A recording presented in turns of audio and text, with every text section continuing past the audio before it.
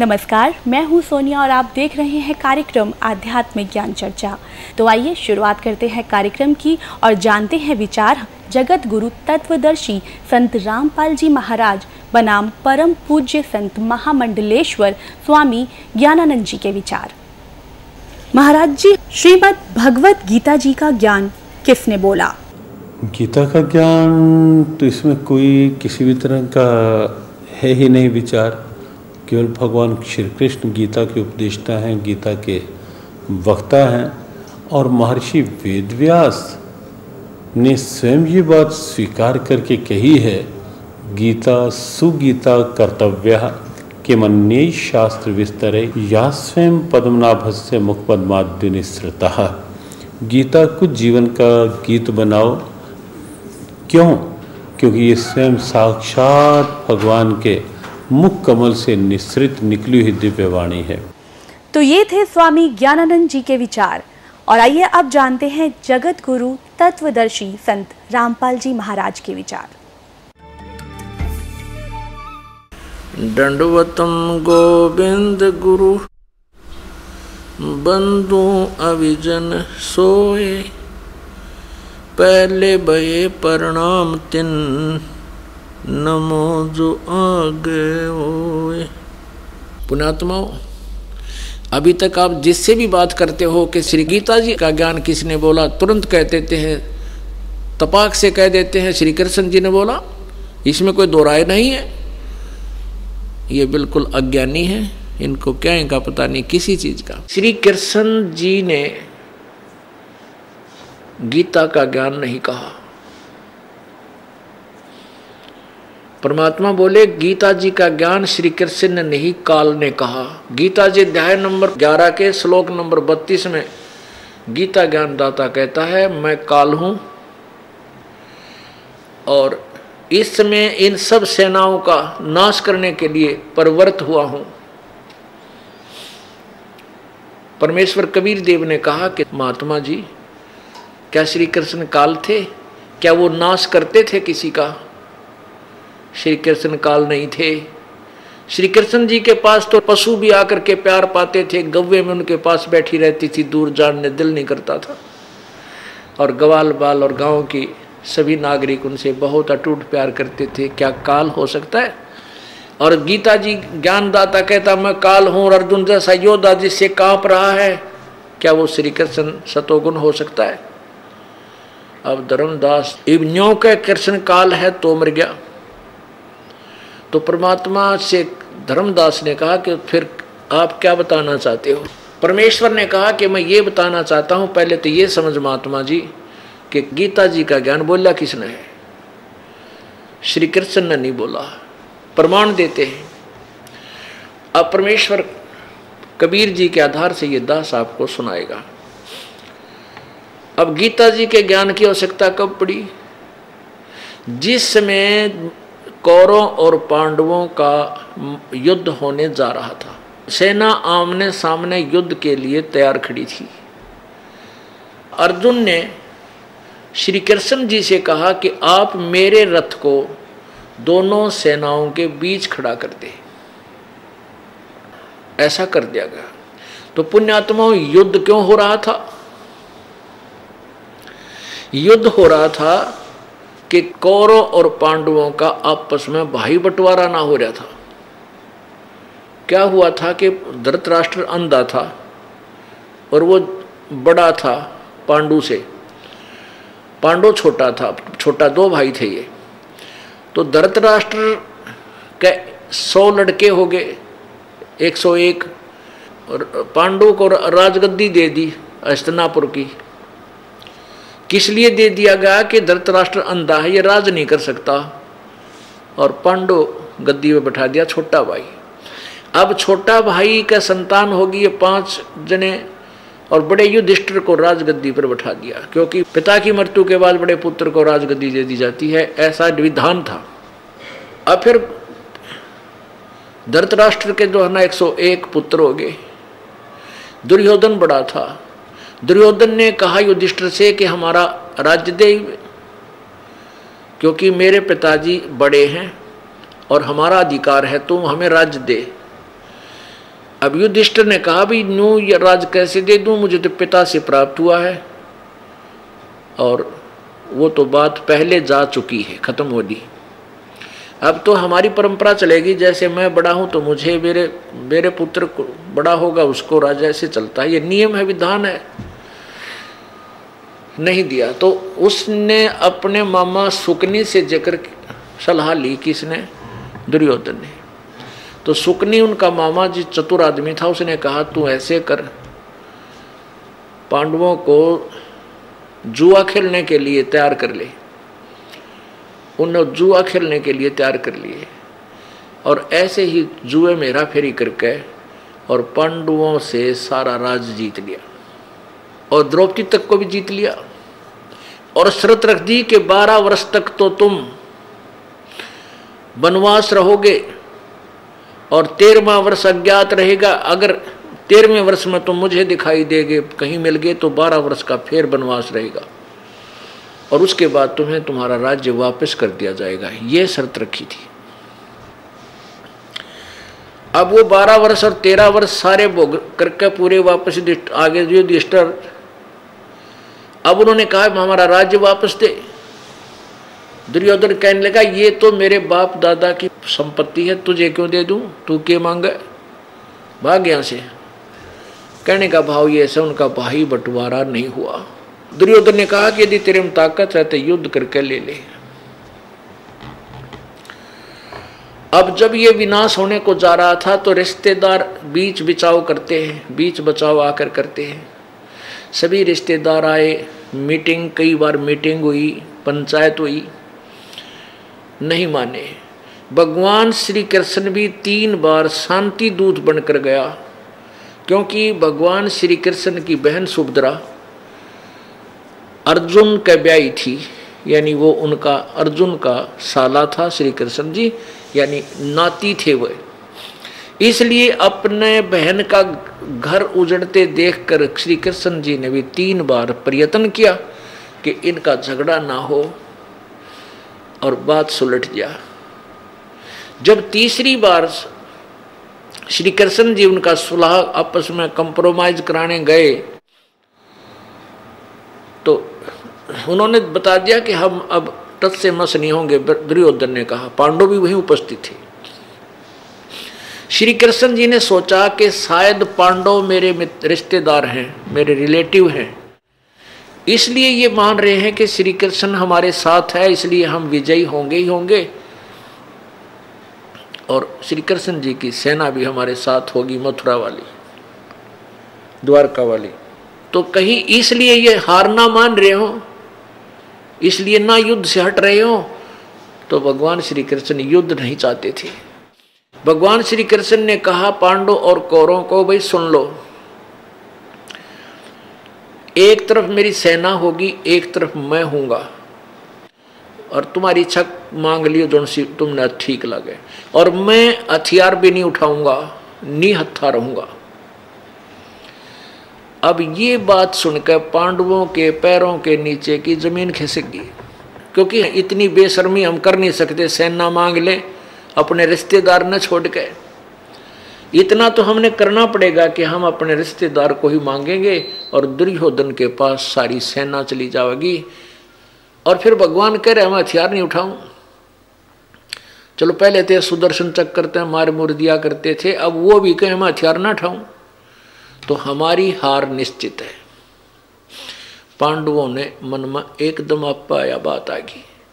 पांडवों ने कहा कि भगवान, हम बाहर मीटिंग से बाहर जाकर कुछ अपना विचार विमर्श कर लेते हैं, जो आपने कहा है। पाँचों पांडव बाहर आ गए। कुछ देर बाद सलाह मशुरा करके उन्होंने कहा कि हम भगवान कृष्ण से कहते हैं कि हमें पाँच गाँव दिला दे, हम युद्ध नहीं करेंगे। अब श्री कृष्ण जी को मीटिंग से बाहर बुलाया और प्रार्थना की कि भगवान, हमें पाँच गाँव दिला दो। हम युद्ध नहीं करना चाहते। हमारी इज़्ज़त भी रह जाएगी और युद्ध भी ना होगा क्योंकि आप नहीं चाहते युद्ध हो। श्री कृष्ण की खुशी का ठिकाना नहीं रहा और ये कहकर के पाँचों पांडव अपने घर आ गए।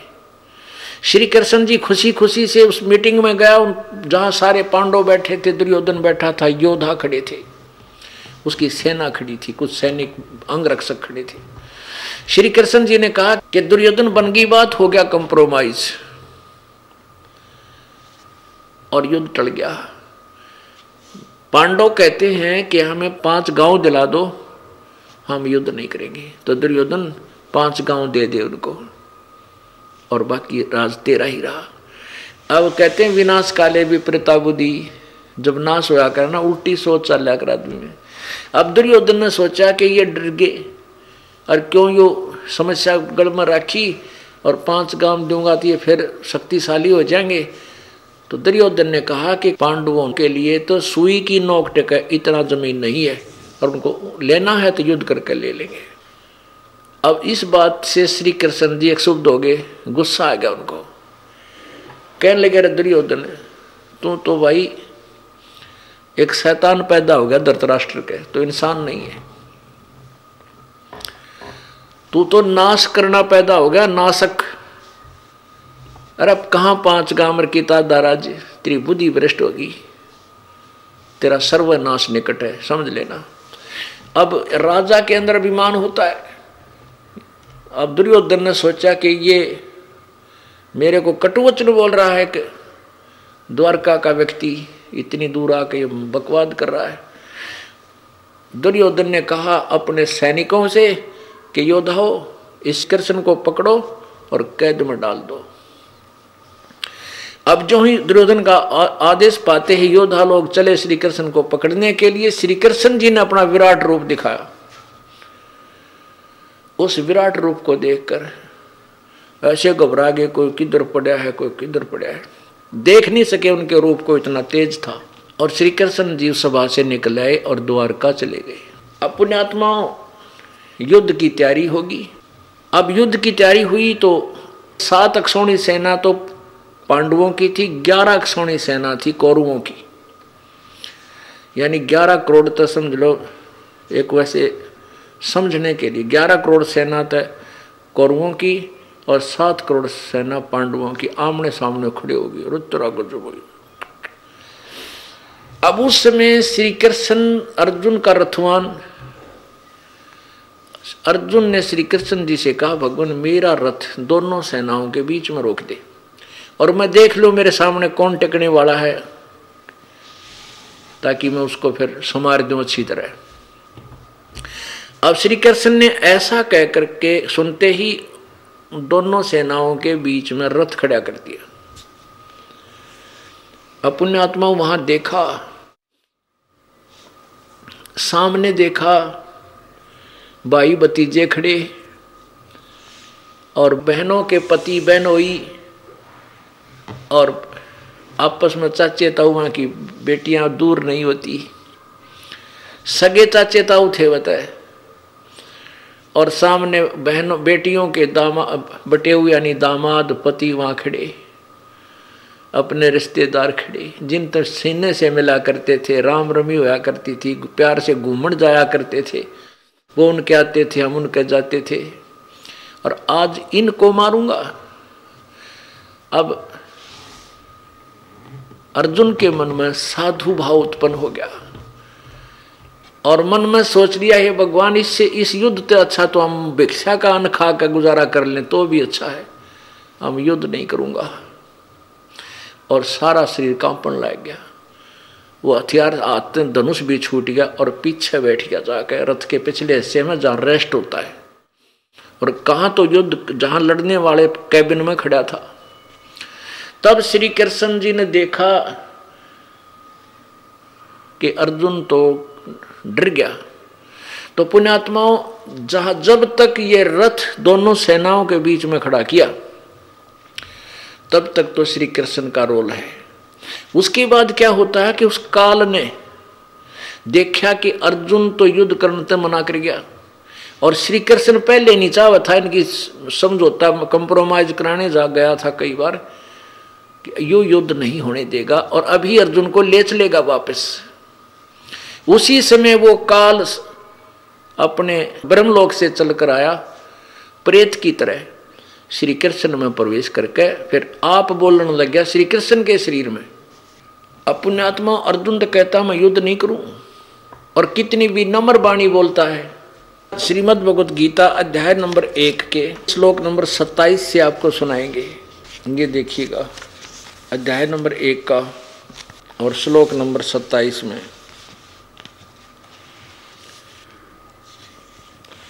हाँ पहले छब्बीस को देखते हैं, छब्बीस में।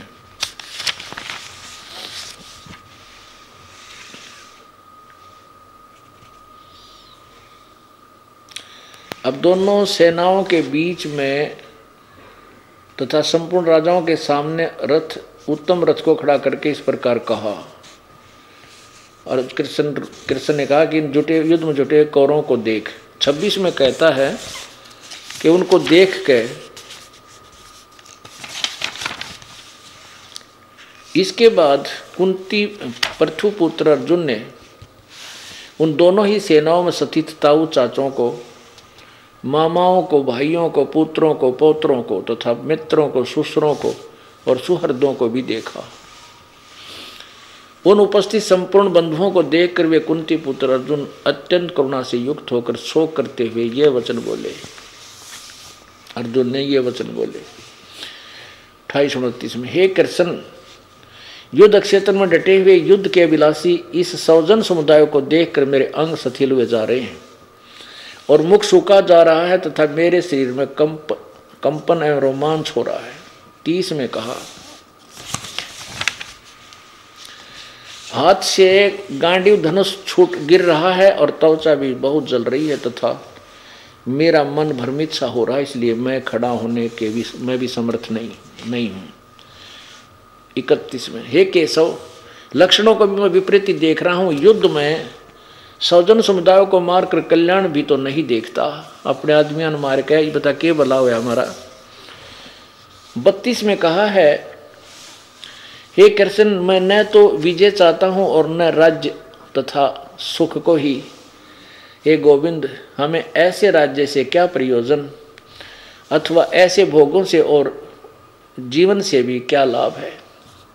तैतीस में, हमें जिनके लिए राज्य भोग और सुखादि अभिष्ट हैं, वे ही ये सब धन और जीवन की आस को त्याग कर युद्ध में खड़े हैं। ये तो मरने के लिए आगे, और हम युद्ध के हम धन चावें हमारे जैसा नीच नहीं चौबीस, चौंतीस में कहा कि गुरुजन चाताऊ चाचे लड़के और इस, उसी प्रकार दादे, मामे, सुसर, पौत्र साड़े तथा और भी संबंधी लोग हैं। पद पैंतीस में हे मधुसूदन, मुझे मारने पर भी, यदि तीनों लोक के राज्य के लिए भी इन सबको मारना नहीं चाहता, इसलिए पृथ्वी का तो कहना ही क्या? क्या कहता है कि मुझे कोई नो कह कि इन सब न मार दे और तीन लोग का राज दे जाएँगे, मैं वो भी ना लूँ, पृथ्वी वाले का के फूकूँगा। आगे देखो, छत्तीस में। हे जनार्दन धृतराष्ट्र के पुत्रों को मारकर मैं क्या प्रसन्नता होगी? हमें क्या प्रसन्नता होगी? इन अतायतियों को मारकर हमें पाप ही लगेगा, सैंतीस में कहा। अतः हे माधव, अपने ही बांधव धृतराष्ट्र के पुत्रों को मारने के लिए हमें, हम योग्य नहीं हैं। क्योंकि अपने ही बंद, कुटुंब के, को मारकर हम कैसे सुखी होंगे? अठतीस, उनतालीस में। यद्यपि लोभ से चित भ्रष्ट चित हुए ये लोग कुलनाश से उत्पन्न होने दोष को और मित्रों से विरोध करने में पाप को नहीं देखते हैं। हे जनार्दन, कुल के नाश से उत्पन्न दोष को जानने वाले हम लोग इस पाप से हटने के लिए क्यों नहीं विचार करना चाहिए? अकुल आत्माओं, इस प्रकार कितनी प्यारी भाषा बोल रहा है अर्जुन। अर्जुन तो साधु हो गया, बताओ उसने भी के ज़रूरत रहेगी थी लड़न और लड़ान की। अध्याय नंबर एक के श्लोक छियालीस में यहाँ तक कह दिया अर्जुन ने, कहते हैं भगवान, मैं तेनों सोचा हूँ कि ये दुर्योधन मन न मार दें। अब नी हथे का मार दें, तीर मैं मर जाऊँ। और मेरी मृत्यु, यानी हार समझ लिए। ये सारा अनर्थ, सारा जुल्म बच जाएगा, सब सेना मरने से बच जाएगी। मेरी मृत्यु होने से पांडव युद्ध नहीं करेंगे। मैं तो ये चाहता हूँ कि मुझे मार दें। ताकि इतनों का कल्याण हो जाए। देखिएगा। अध्याय नंबर एक का श्लोक नंबर छियालीस अध्याय नंबर एक का श्लोक नंबर यहाँ छियालीस इसमें कहा कि यदि मुझ शस्त्र रहित एवं सामना न करने वाले को शस्त्र हाथ में लिए हुए धृतराष्ट्र के पुत्र रण में मार डालें तो वह मरना भी मेरे लिए अधिक कल्याणकारक होगा। रणभूमि में शोक शोक से उद, उद्गन मन वाला अर्जुन इस प्रकार कहकर वाण सहित धनुष को त्याग कर रथ के पिछले भाग में बैठ गया। अब दूसरे में क्या कहा है? द्वितीय अध्याय। अब दूसरे अध्याय में कहा है प्रथम श्लोक में उस प्रकार करुणा से व्याप्त और आंसुओं से पूर्ण तथा व्याकुल नेत्रों वाले शोक युक्त उस अर्जुन के प्रति भगवान मधुसूदन ने यह वचन कहा। दूसरे में क्या कहा कि, हे अर्जुन, तुझे इस समय यह मोह किससे हेतु से हुआ, प्राप्त हुआ? क्योंकि यह न तो श्रेष्ठ पुरुषों को का द्वारा आचरित है न स्वर्ग को देने वाला और न कीर्ति को करने वाला है। ये अर्जुन, नपुस नपुसंकता को मत प्राप्त हो। तुझ में यह उचित नहीं जान पड़ती। ये परंतम हृदय की तुच्छ दुर्बला तो दुर्बलता को त्याग कर युद्ध के लिए खड़ा हो जा। अब दूसरे अध्याय के चौथे, पाँचवें, छठे में कमाल कर दिया। अब देखिएगा, अध्याय नंबर दो का श्लोक नंबर चार में क्या कहा अर्जुन ने ये मधुसूदन, में रणभूमि में किस प्रकार बाणों से विषम पितामह और द्रोणाचार्य के विरुद्ध लड़ूँगा? क्योंकि हे हरिशोधन ये दोनों ही पूजनीय हैं। पाँचवें में कहा है महानुभाव गुरुजनों को न मारकर और इस लोक में भिक्षा का अन्न भी खाना कल्याणकारक समझता हूँ, क्योंकि गुरुजनों को मारकर भी इस लोक में रुद्र से सने हुए और अर्थ काम रूप भोगों को ही तो भोगूँगा। और यह भी नहीं जानते कि हमारे लिए युद्ध करना और न करना इन दोनों में से कौन सा श्रेष्ठ है अथवा नहीं जानते। उन हम, उन्हें हम जीतेंगे, वह हमको जीते, वो हमको जीतेंगे। और जिनको मारकर हम जीना भी नहीं चाहते। वे ही धृतराष्ट्र के पुत्र हम हमारे सामने मुकाबले में खड़े हैं।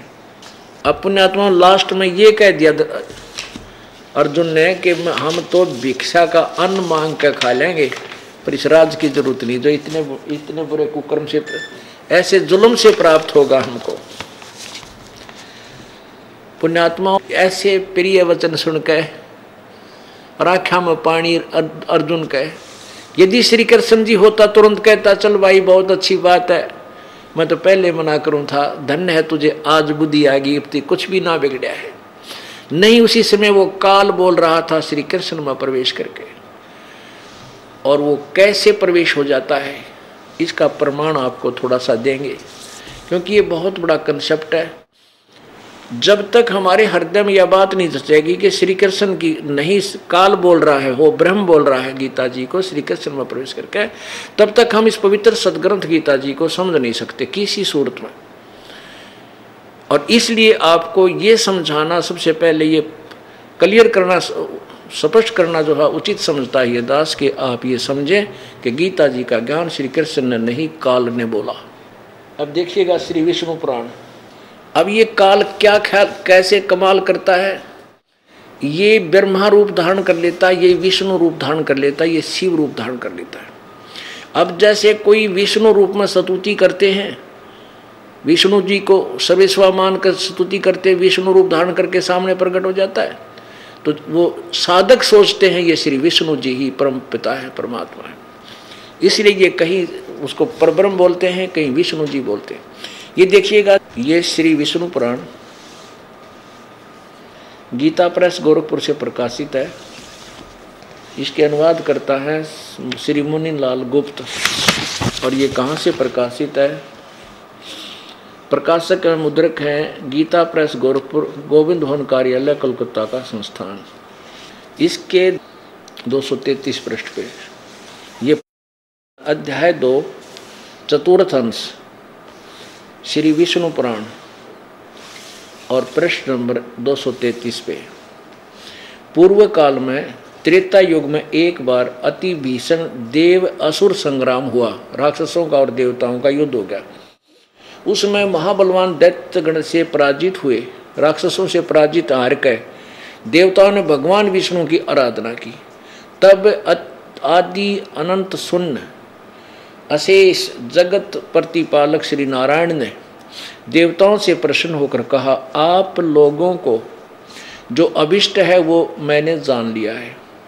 उसके लिए, उसके विषय में यह बात सुनिए, राजा ससाद का जो पुरंजय नामक पुत्र है, उस अक्षत्रिय श्रेष्ठ के शरीर में मैं अंश मात्र से स्वयं अवतीर्ण होकर, यानी उसमें प्रवेश करके कुछ समय के लिए।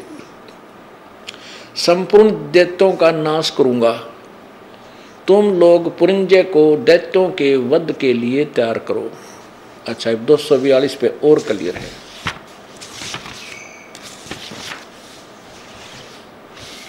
यही तृतीय, चतुर्थ अंश और तृतीय अध्याय तीन, विश्री विष्णु पुराण, दो सौ बयालीस पृष्ठ पे।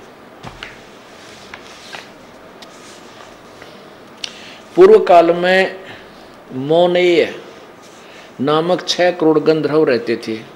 उन्होंने समस्त नागकुल के प्रधान प्रधान रतन और अधिकार छीन लिए थे।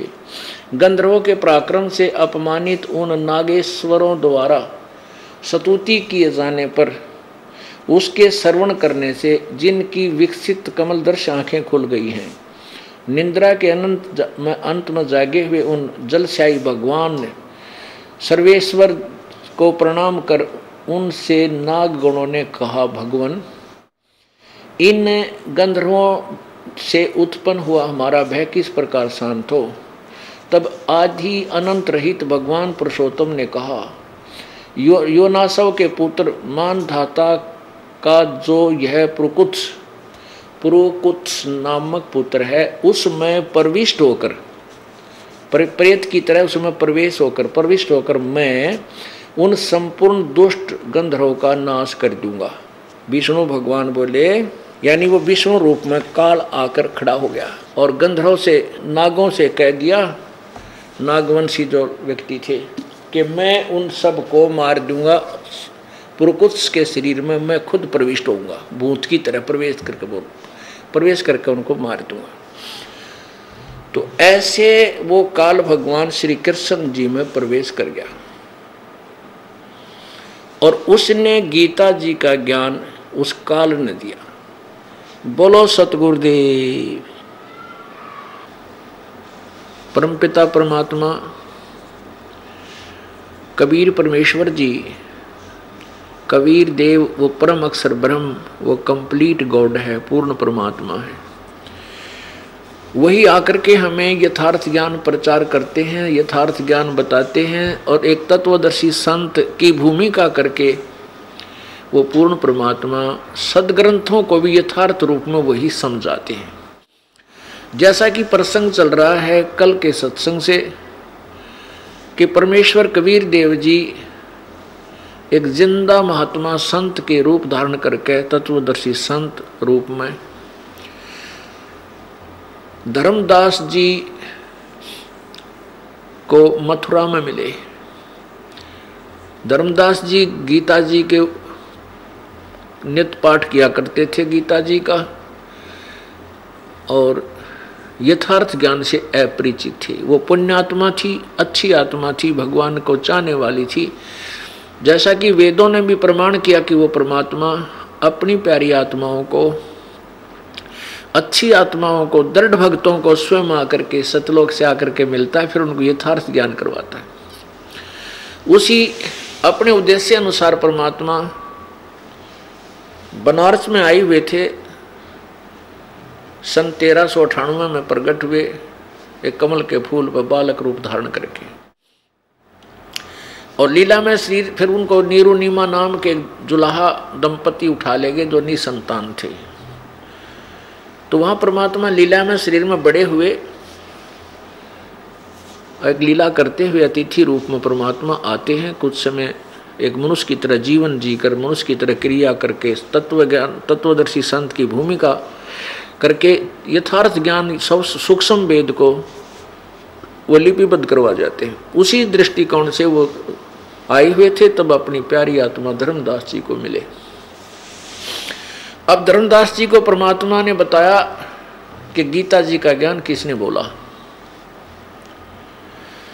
तो धर्मदास जी कह रहे थे, श्री कृष्ण जी ने बोला, परमात्मा ने बताया, श्री कृष्ण जी के शरीर में प्रवेश करके उस काल भगवान ने जो महाविष्णु कहलाता है, उस काल भगवान ने, जो ब्रह्मा, विष्णु, महेश से भिन्न भगवान है उसने श्री कृष्ण जी में प्रेत की तरह प्रवेश करके ये गीता जी का ज्ञान बोला और युद्ध करवाने के लिए सारी अटकल लगाई। जबकि श्री कृष्ण जी युद्ध नहीं करवाना चाहते थे। अब जैसा कि आपने प्रमाण देखा, वो कैसे प्रेतवत प्रवेश कर जाता है? आपने कल देखा कि जैसे राजा ससाद के शरीर में और फिर देखिएगा विष्णु पुराण। ये है पवित्र विष्णु पुराण। गीता प्रेस गोरखपुर से प्रकाशित है। प्रकाशक एवं मुद्रक।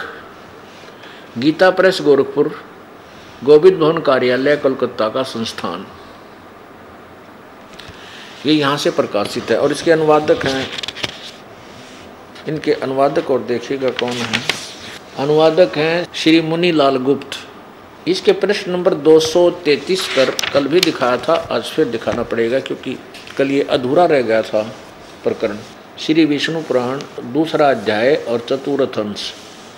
पृष्ठ 233 नीचे आइएगा, यहाँ से शुरू करते हैं। पूर्व काल में, त्रेता युग में एक बार अति भीषण देव असुर संग्राम हुआ। देवता और राक्षसों का युद्ध हुआ। उसमें महाबलवान दैत्य गण से पराजित हुए देवताओं ने भगवान विष्णु की आराधना की। ये भगवान विष्णु, ये काल की आराधना की। ये दिखाएँगे भी आपको। तब आदि अनंत शून्य, अशेष जगत प्रतिपालक श्री नारायण ने देवताओं से प्रसन्न होकर कहा, आप लोगों का जो कुछ अभिष्ट है, वह मैंने जान लिया है। उसके विषय में यह बात सुनिए। राजऋषि ससाद का, जो पुरंजय नामक पुत्र है, पुरंजय उस अक्षत्रिय श्रेष्ठ के शरीर में पुरंजय के शरीर में अक्षत्रिय श्रेष्ठ के शरीर में मैं अंश मात्र से अवतीर्ण होकर उसमें प्रवेश होऊँगा बोल बढ़ूँगा उसके शरीर में प्रेत प्रेत की तरह प्रवेश होऊँगा अवतीर्ण होऊँगा। उन दै, संपूर्ण दैत्यों का नाश करूँगा। अतः तुम लोग पुरंजय को दैत्यों के वध के लिए तैयार करो।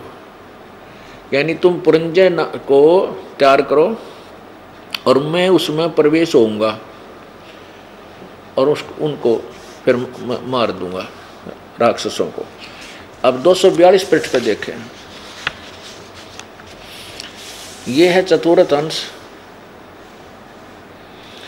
और तृतीय अध्याय और श्री विष्णु पुराण। ये 242 पृष्ठ पे हम दिखाएँगे। तीसरा अध्याय यहाँ से शुरू होता है। पूर्व काल में रसातल में मोने नामक छह करोड़ गंधर्व रहते थे। उन्होंने समस्त नागकुल के प्रधान प्रधान रतन और अधिकार छीन लिए थे। गंधर्वों के पराक्रम से अपमानित उन नागेश्वरों द्वारा सतुति किए जाने पर, उसके श्रवण करने से जिनकी विकसित कमल दर्श आँखें, सदृश आँखें खुल गई हैं निंद्रा के अंत में जगे हुए उन जलशाही भगवान सर्वेश्वर को सर्व सर्वदेवेश्वर को प्रणाम कर, उनसे नागगण ने कहा, यानी सतुति की नागों ने, भगवान, इन गंधर्व से उत्पन्न हुआ हमारा भय किस प्रकार शांत होगा? तब आदि अनंत रहित भगवान पुरुषोत्तम ने कहा युव नासव के पुत्र मान धाता का जो पुरकुत्स नामक, पुरोकुत्स नामक पुत्र है, उसमें प्रविष्ट होकर मैं, उसमें प्रवेश करके मैं उन संपूर्ण दुष्ट गंधर्वों का नाश कर दूँगा। प्रेत की तरह प्रवेश होऊँगा पुरुकुत्स के शरीर में और फिर उनको मैं मारूँगा। कौन कहते हैं? ये महाविष्णु, जो ब्रह्मा विष्णु महेश से भिन्न है। अब यहाँ इस ये क्लियर करना है कि ये कौन बोल रहा है? ये ब्रह्मा विष्णु महेश से अलग जो महाविष्णु, क्योंकि शिवपुराण के अंदर महाशिव की महिमा है, वो ब्रह्मा विष्णु महेश से अलग भिन्न है। ऐसे ही इसमें महाविष्णु की महिमा है, वो ब्रह्मा विष्णु महेश से कोई और है, वो बोल रहा है। ये देखिएगा, प्रश्न नंबर बत्तीस पे। वो इनसे भिन्न है कोई? ये प्रश्न नंबर थर्टी टू। प्रश्न नंबर बत्तीस पे श्री विष्णु पुराण, पर अध्याय नौ और प्रथम अंश। जिस अभूतपूर्व अभूतपूर्व देव की ब्रह्मा, विष्णु और शिव रूप शक्तियाँ हैं, उन भग, वही भगवान विष्णु का परम पद है। जिस अभूतपूर्व देव की ब्रह्मा, विष्णु और शिव रूप शक्तियाँ हैं, ये ब्रह्मा, विष्णु, शिव और हैं। और वही भगवान विष्णु का परम परम पद रूप है। हे सर्वेश्वर, हे सर्वभूत, भूतात्मन, हे सर्व, सर्वरूप, हे सर्वधार, हे अच्युत, हे विष्णु, ये वो विष्णु है जिस विष्णु के बारे में कहा जा रहा है कि मैं उसमें ये विष्णु बोल रहा है, ये काल बोल रहा है, ब्रह्मा विष्णु महेश से अलग है। हे विष्णु, हम भक्तों पर प्रसन्न होकर हमें दर्शन दीजिए। अब प्रार्थना करता खुद मान रहा है कि ब्रह्मा विष्णु और शिव से रूप शक्तियाँ हैं, वह भगवान विष्णु का परम रूप है। वही पर भगवान विष्णु का जिसको देवगुण, मुनिगण, शंकर और मैं कोई नहीं जान सकते, उस वही परमेश्वर विष्णु का परम पद है। आगे देखिए, प्रश्न नंबर 102 पर आपको दिखाते हैं। यानी इनसे अलग है कोई और? 102 तीन पर देखें ये है 102 पृष्ठ श्री विष्णु पुराण, अध्याय 22 प्रथम अंश। यहाँ देखो 102 पृष्ठ पे। हे ब्रह्मन, ब्रह्मा, विष्णु और शिव, ब्रह्म की प्रधान शक्तियाँ हैं। ये ब्रह्म। हमने ये सिद्ध करना है कि ब्रह्म उसमें प्रवेश करके गा, बोला था, कृष्ण में। महाविष्णु कहो, काल कहो, ब्रह्म को ब्रह्मन ब्रह्मा, विष्णु और शिव ब्रह्म की प्रधान शक्तियाँ हैं। उनसे न्यून देवगण हैं और उनके अनंतर दक्ष आदि प्रजापति गण हैं। अब देखो प्रश्न नंबर 103 पर। हे महाभाग, ये सर्व ब्रह्म है विष्णु भग, श्री विष्णु भगवान। सर्व ब्रह्म है, यानी इस ब्रह्म को ही विष्णु कहते हैं। श्री विष्णु भगवान समस्त पराशक्तियों के प्रधान और ब्रह्म के अत्यंत निकटवर्ती मूर्त ब्रह्म स्वरूप है। अब हमने यही सिद्ध करना है कि जो ब्रह्म है, वो ये काल है और इसी को महाविष्णु बोलते हैं, ये अज्ञानतावश। आप देखिए 128 पृष्ठ पे क्लियर हो जाता है श्री विष्णु पुराण, अध्याय सात और आठ। अध्याय सात में दिखाएँगे, एक और प्रश्न नंबर 128 पे, अध्याय नंबर सात। आठ आगे से होता है। जिस से यह संपूर्ण जगत उत्पन्न हुआ है, जो स्वयं जगत रूप से स्थित है, जिसमें यह स्थित है तथा जिसमें यह लीन हो जाएगा, वह परब्रह्म ही विष्णु भगवान है। अब देखो, आगे फिर ये, क्योंकि ये ब्रह्मा विष्णु महेश से अलग है, उसी को कभी ब्रह्म बोल देते हैं, कभी विष्णु भगवान, वही परब्रह्म ही विष्णु भगवान है। वह ब्रह्म ही उन विष्णु का परम धाम, परम रूप है। अब कहने का भाव यह कि जो ये विष्णु, जिस विष्णु के बारे में ये सतुति करके कहा, और जिसने ये कहा कि मैं पुरंजय के शरीर में प्रवेश अवतीर्ण होऊँगा, और उसमें प्रवेश करके गंधर्वों का नाश करूँगा, असुरों असुरों का नाश करूँगा। फिर दो सौ बयालीस वर्ष पर जिसने, जिसकी स्तुति की, वही काल रूपी ब्रह्म, वो महाविष्णु कह रहा है।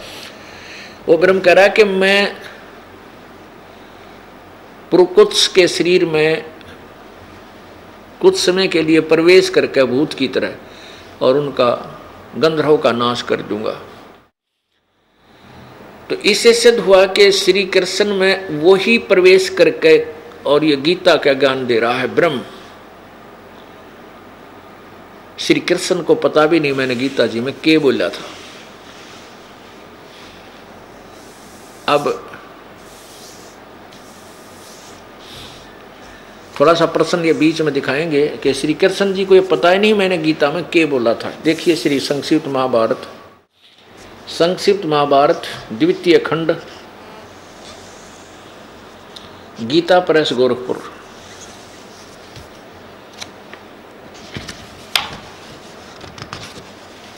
संक्षिप्त महाभारत, द्वितीय खंड, गीता प्रेस गोरखपुर, संपादक तथा संशोधक जय दयाल गोविंद का, जो गीता जी का अनुवादक है, वो इसी महाभारत का अनुवादक है। प्रकाशक एवं मुद्रक हैं गीता प्रेस गोरखपुर, गोविंद भवन कार्यालय, कोलकाता का संस्थान। इसके छह सौ सड़सठ पृष्ठ पे अर्जुन का श्री कृष्ण से गीता का विषय पूछना और श्री कृष्ण का अर्जुन से सिद्ध महर्षि और कश्यप का संवाद। जन्मे जैन पूछा, शत्रुओं का नाश होने के बाद जब महात्मा श्री कृष्ण और अर्जुन सभा में बैठे थे, यानी महाभारत खत्म हो चुका था, वार्तालाप कर रहे थे, उस समय उनमें क्या बात क्या क्या बातचीत हुई? वैश्पायन जी बोले वैश्पायन जी ने कहा, राजन श्री कृष्ण के सहित अर्जुन जब अपने राज्य पर पूरा अधिकार प्राप्त कर लिया तो वे दिव्य सभा भवन में आनंद के साथ रहने लगे। एक दिन सवर्जनों से घिरे हुए वे दोनों मित्र स्वेच्छा से घूमते घूमते सभा मंडप के ऐसे भाग में पहुँचे जो स्वर्ग के समान सुंदर था। पांडुनंदन अर्जुन श्री कृष्ण के साथ रहकर बहुत प्रसन्न थे।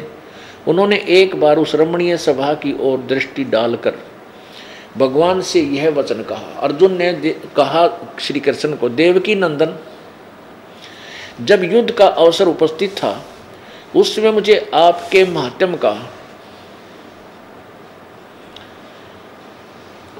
ज्ञान और ईश्वरीय स्वरूप का दर्शन हुआ था। किंतु केशव आपने स्नेहवश मुझे, पहले मुझे जो ज्ञान का उपदेश दिया था, गीता जी का ज्ञान दिया था, वह सब इस समय बुद्धि के दोष से भूल गया है। उन विषयों को सुनने के लिए बारंबार मेरे मन में उत्कंठा होती है। इधर आप जल्दी ही द्वारका जाने वाले हैं। अतः पुनः यह सब विषय मुझे सुना दीजिए। वह गीता जी का ज्ञान फिर सुना दीजिए। वस्पयान जी कहते हैं, अर्जुन के ऐसा कहने पर ये छह सौ सड़सठ पृष्ठ चल रहा वक्ताओं में श्रेष्ठ महातेजस्वी श्री कृष्ण ने उन्हें गले से लगाकर इस प्रकार उत्तर दिया। श्री कृष्ण बोले कि उस समय मैंने तुम्हें अत्यंत गोपनीय विषय का श्रवण कराया था उसमें, गीता में। अपने स्वरूप भूत धर्म सनातन पुरुषोत्तम तत्व का परिचय दिया था। और नित लोकों का भी वर्णन किया था। किंतु तुमने जो अपनी नासमझी के कारण उस उपदेश को याद नहीं रखा, यह जानकर मुझे बड़ा खेद हुआ है। लेकिन स्वयं क्या कहते हैं श्री कृष्ण जी, कि उन बातों को अब पूरा पूरा समर्ण होना संभव नहीं जान पड़ता।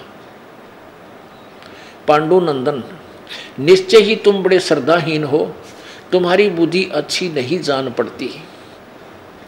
अब मेरे लिए उस उपदेश को ज्यों का तुम दोहरा देना कठिन है, क्योंकि उस समय योग युक्त होकर मैंने परमात्म तत्व का वर्णन किया था, ज्ञान सुनाया था। अरे जब युद्ध के मैदान में योग युक्त हो सके है इंसान, अब शांति क्षेत्र में क्या दिक्कत आ गई योग युक्त होने में ही बोले। वास्तविकता यह है कि श्री कृष्ण जी ने नहीं बोला था। युद्ध के मैदान में योग युक्त हुई ना हो जाएगी घी बंदी आदमी की।